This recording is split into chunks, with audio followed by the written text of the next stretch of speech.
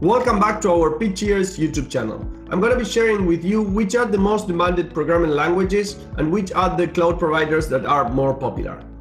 Number one is definitely C Sharp.NET and .NET Core.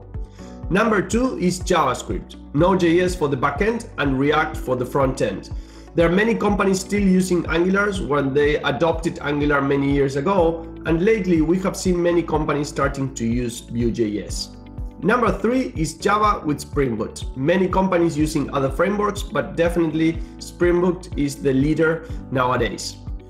Number four is definitely C++ and C. There are many companies that they are doing embedded software, that they are using C and C++, and you still can find many opportunities in that area. Number five, I would say that is PHP using Laravel and Symfony. I would say that Laravel positions a little bit better than Symfony nowadays. Number six, I'm gonna use, uh, I'm gonna include a few programming languages in the position number six. Why? Because I don't think that there are enough companies using these programming languages in order to be able to rate them by themselves.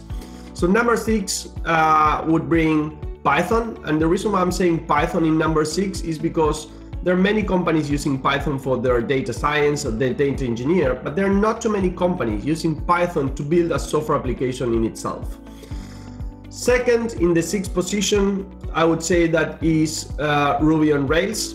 Number three, in the sixth position, I would say that you can find Go, uh, Golang. Uh, number four, I would say that you can find uh, Scala, and number five, I would say that you can find Rust. Um, and then I would say that in, in the number six, seven position, uh, you can find a lot of other languages, like for example, Solidity for the blockchain and, and some others. But definitely number one is C Sharp.NET. Number two is JavaScript. Number three is Java. Number four is C, C++. Number five, PHP. Number six, a group of Python, Ruby on Rails, Scala, Go, and Rust. And in the seventh position, you will find a lot of different programming languages, like for example, um, Solidity if you are developing stuff in the blockchain. So, which are the most popular cloud providers? I would say that AWS is leading the market. In a second place is coming Azure, but very close to AWS.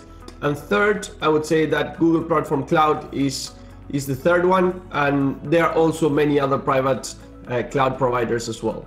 I hope you have enjoyed this video. I hope you find it useful for you to understand if the technologies and the programming languages that you are using are competitive, and if not, there's something you can do with this. I hope you have enjoyed the video. See you next week.